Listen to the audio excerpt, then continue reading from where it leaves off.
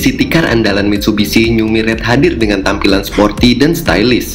Sebelumnya Raja Mobil telah mengulas tampilan eksterior dari mobil ini. Lalu apa yang ditawarkan New Mirage pada bagian kabinnya? Pada bagian interior, New Mirage memiliki desain baru pada bagian kursinya.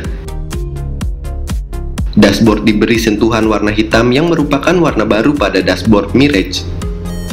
Roda kemudi berdesain baru dengan aksen piano black untuk tipe Exit dan aksen silver garnish untuk tipe GLS dan GLX. Untuk memudahkan pengemudi, audio steering switch juga tersedia di setir kemudi. Pada center panel, panel audio system dan AC otomatis dilengkapi aksen chrome. New Mirage juga dilengkapi oleh keyless operating system dan one start stop system.